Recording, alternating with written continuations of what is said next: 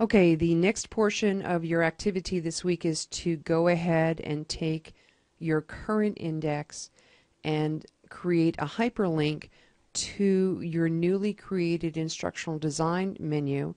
And then from your instructional design menu, create a hyperlink to the before shot of your portfolio. So there's three little things here that we've got to get done. The third thing being saving everything and uploading it. So let me go ahead and start with the current portfolio. I'm going to double click and open that up. And over here, of course, we've got elective spaces. So I'm going to go ahead and put in um, 621 instructional design. And because this is, course isn't truly going to have a midterm final, and you do have um,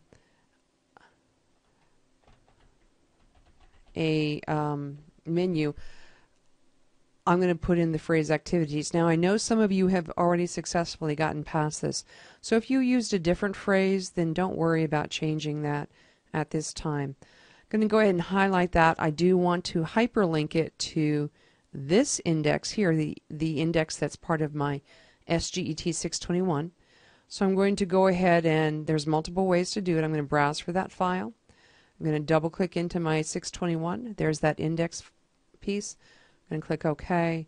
And of course, I'm going to save it. And I am essentially done with that file. Now I can go ahead and upload that if I wanted to, but I do need to create a hyperlink from this index as part of the 621 to that portfolio. So let me go ahead and do that super quick. Open that up. And here I've got some placeholder pieces. And of course, these are just silly little things that will go away at a later point. But I can go ahead and uh, type in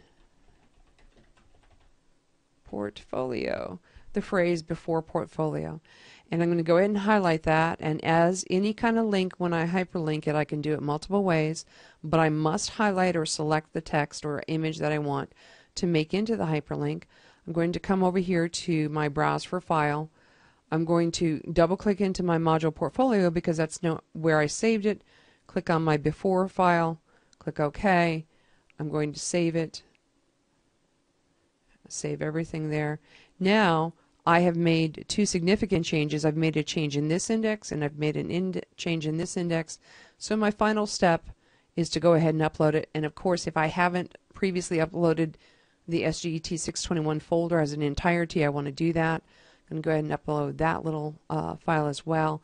And then I should be able to show you, yes, that it is working in. And of course, once I upload a file or once I, I start development and I've got this in the window opened here, I can take a look and I see obviously that I don't see the newly created pieces.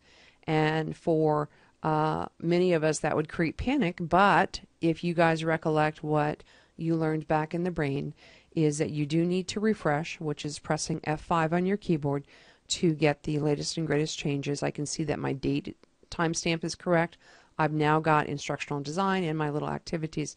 If I click on my activities, I come up to my page and lo and behold, here's that link. And if I click on before portfolio, I should get a snapshot of my portfolio. And that is the end of your web design work for the week.